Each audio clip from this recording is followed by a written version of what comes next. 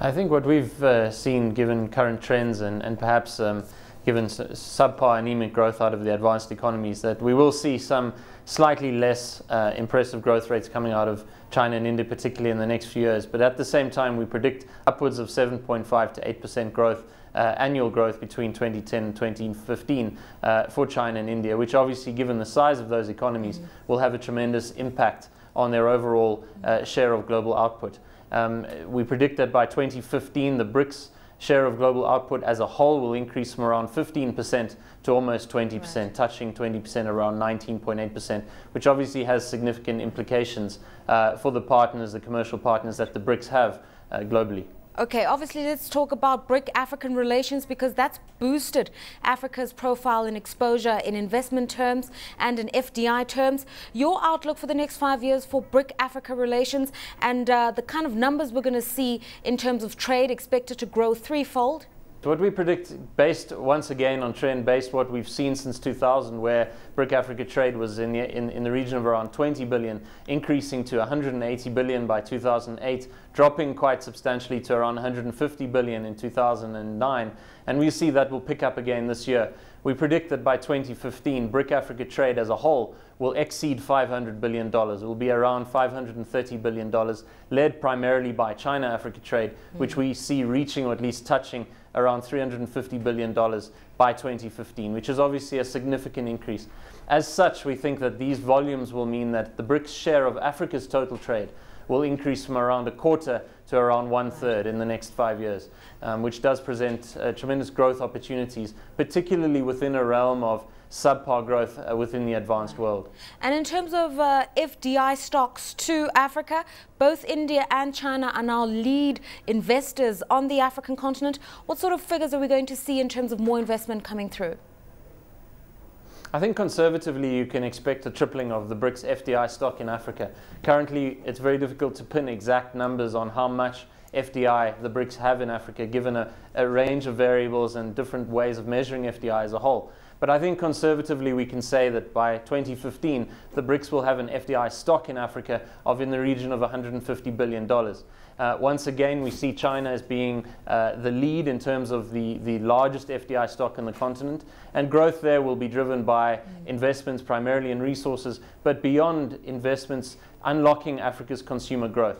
Uh, we've seen recently uh, Russia's telecoms firm VimpelCom announcing an intended deal almost of $7 billion to buy into the Egyptian uh, telecoms firm Orascom through Weather Investments. Uh, we've seen Vale from Brazil announce plans to invest upwards of $20 billion in Africa over the next five years. And of course, we've seen some significant Indian private sector involvement on the continent. So we see this ramping up quite substantially in the next two to three years. And I think quite conservatively, the BRICS will have a share of, of Africa's FDI stock which will strongly outpace what it currently has. In terms of tangible gains for Africa, we're also hearing that in the next five years, Africa is poised to see GDP figures increasing, that we're likely to see the value of Africa's economies grow from 1.6 trillion to 2.6 trillion. Will that be a function of the involvement of BRIC countries? It'll be partially a function of the involvement of the BRICS. I think a lot of that growth is happening given Africa's very strong independent macroeconomic fundamentals. I think conservatively, we once again we're predicting that Africa's uh, consumer or purchasing power in the next five years will increase by, by around 30%. Um, this is based on, on pure demographics. We're seeing the fact that Africa's um, population is looked to, to extend by 120 million people in the next five years. 80 million people will be added to the African workforce in the next five years as well. We're seeing huge urbanization rates. Africa has the highest urbanization rates on the, on the planet. Uh, East African urbanization rates are almost triple those of Southeast Asia. So these trends are all developing to provide some very nourishing avenues for growth within the African context.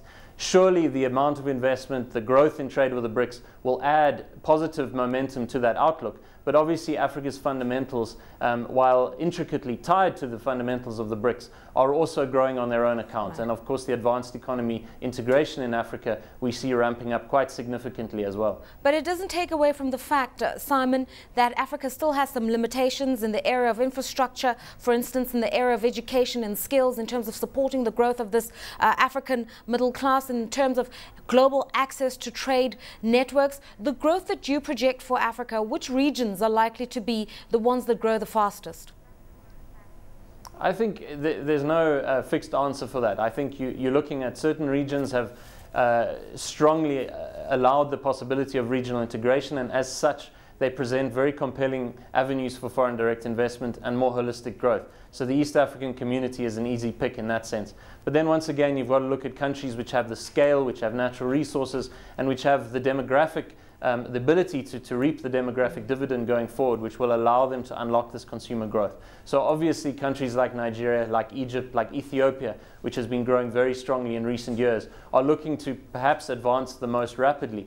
Then once again, you need to look at economies that have recently uh, gained access to, to significant natural resources such as Ghana and Uganda. So across the board, there's a wide variety of countries that will benefit from this nourishment.